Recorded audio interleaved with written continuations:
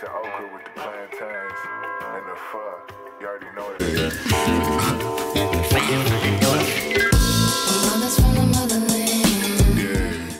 Hey y'all, it's Jaila aka JaiChanellie on the internet. Welcome back slash welcome to my channel if this is your first time here. Hopefully you've already seen my video about these DIY butterfly locs. If you haven't already, I'll go ahead and link it up above. But today I'm just showing you very easy ways to maintain your locs as you're wearing them literally super simple. You don't have to do it every day and it's to keep your locs looking good and keep your scalp healthy. So if you're interested go ahead and keep on watching. Remember to hit that subscribe button and join all 17,000 of us over here okay? We lit. Again hit that subscribe button and also hit that notification bell so you know anytime I'm posting a new video. All right, y'all, in order to maintain your locs, really, really easy. There are only three things we really need to do and really need to worry about. The first thing is making sure that our scalp is doing well. The second thing is making sure that our hair is not getting super tangly. And then the third thing, which is really optional, is to touch up your edges if that's your thing. So let me just go ahead and show y'all real quickly what my scalp has been looking like after two weeks of being in these locs.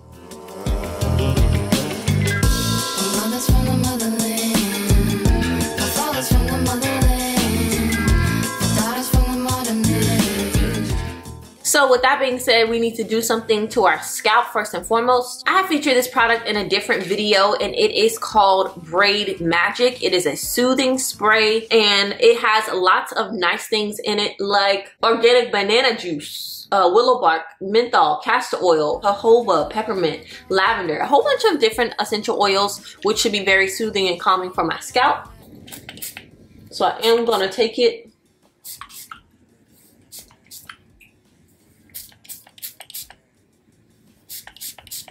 and I'll just run my fingers down my scalp just to make sure everything is basically getting touched and we are one step closer to a healthier scalp okay? So the next thing I'm going to do is go in with an oil on my scalp and I'll be using the rosemary mint scalp and hair strengthening oil. There we go. It's by Mielle it's almost gone because I have been using it for a while but I'll go ahead and just take this dropper and I kind of go all down my parts. And once I feel like I've applied enough, I do the same thing. I'm going to take my fingers and really rub those into my parts. And that's basically all I'm going to do to my actual scalp. I would recommend you doing this once a week. I have been really bad at this, so this is my first time doing it since I've installed these locs. But keep up with it if you don't want, you know, your hair to start acting up, your scalp to start acting up. Moving right along, I don't have to worry about my actual hair in this style because, you know, when you do locs, your hair is completely wrapped up. Whereas in braids, you can kind of penetrate your hair. Locs, you can't do that. The rest of the things that we're gonna do are going to be just to improve the aesthetic of our locs. I'm going to take a little bit of mousse and I'm gonna rake it through my locs just to make sure that they're not like super tangled and caught on each other. Now the biggest thing with butterfly locs is that they can kind of have these stray hairs and those stray hairs are what get caught on everything. Like I don't know if y'all can see this. Take some scissors and I'm just gonna trim some of that extra hair off of my loc. See like I don't know if y'all can see that.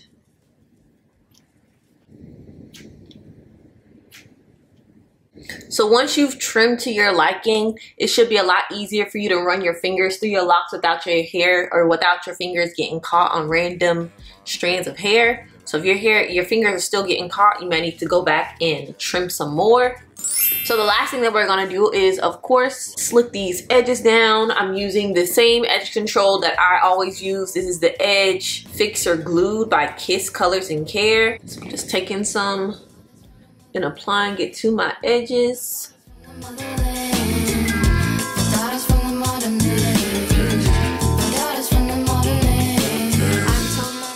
So once you have done your edges to your liking, go ahead and put your go ahead and put your scarf on and let it marinate for a little bit. And then we'll come back to y'all with the final look. All right, y'all, it's been a few minutes. Let's go ahead and take off our scarf all right y'all this is our hair. These are our locs. Again they're looking pretty good. They're not tangled. Our scalp is doing well and we have no complaints okay? So i hope that this is super easy for you super simple to maintain your protective styles. I highly encourage you if you are someone who likes to wear protective styles either wash your hair in the protective style or don't keep it in too long okay? So I'm actually going to be taking my hair out this weekend so two weeks without washing my hair that's good enough for me. And again, it's just super important for you to maintain your scalp health, maintain your hair health. So we can't be keeping these styles in for an extra long time without actually washing and cleaning our scalp and our hair, okay? So that's just my little tidbit. But of course, you're gonna do what you wanna do, as you should, okay? Thank you so much for watching this video. If you enjoyed, remember to hit that subscribe button. Also, like this video so that YouTube can share with other people. And I'll see y'all in the next one. Bye.